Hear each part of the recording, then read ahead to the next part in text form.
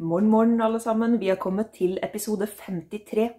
Og i dag er det et par litt korte referater, så det blir fire referater i dag.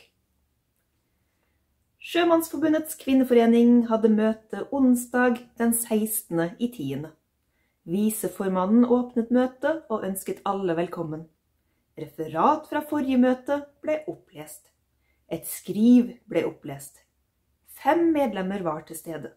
Loddsalget innbrakte 1650. Viseformannen takket for oppmøtet, og møtet sluttet ved 23-tiden. Og så har vi dagens andre referat. Sjømannsforbundets kvinneforening hadde møte hos fru Taftø den 30. i tiende. Formannen ønsket alle velkommen, og referat fra forrige møte ble opplest. Et skriv som vi fikk, ble referert. Det ble servert deilig bevertning og nydelige vafler av fru Tafte.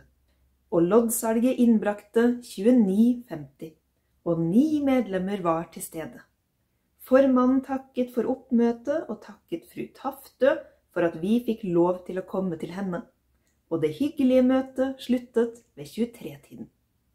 Og så har vi dagens tredje referat.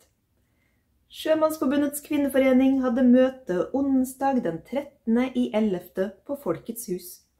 Formannen ønsket alle velkommen. Referat fra forrige møte ble opplest. Det var forskjellige skriv som ble referert. Så var det merker fra Norsk Folkehjelp å få kjøpt av medlemmene. Kaffen ble servert av fru Skottheim, og sju medlemmer var til stede. Og loddsalget innbrakte 1950. Formannen takket for oppmøtet, og møtet sluttet ved 23-tiden. Og så har vi dagens siste referat. Sjømannsforbundets kvinneforening hadde møte hos fru Klokseth den 27. i 11. Formannen ønsket alle velkommen. Referat fra forrige møte ble opplest og godkjent.